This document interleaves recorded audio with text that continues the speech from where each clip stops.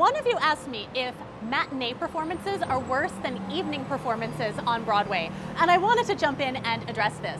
First of all, I want to say that performers on Broadway are trained athletes and they will be giving 100% at all performances, both matinees and evening. The only reason why I would say it matters which performance you see is if there's a performer that you really want to see on stage. So for example, in Funny Girl, there are two main actresses that sort of alternate the role of Fanny Brice.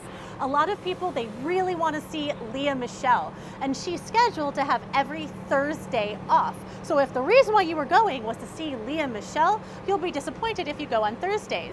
Now, the actress who plays Fanny Brice on Thursdays is the marvelous, stupendous Julie Benko. And if you want to see her, you'll want to schedule your ticket specifically for Thursday nights. And some people just love the show so much, they love both performers and they alternate back and forth to see the differences.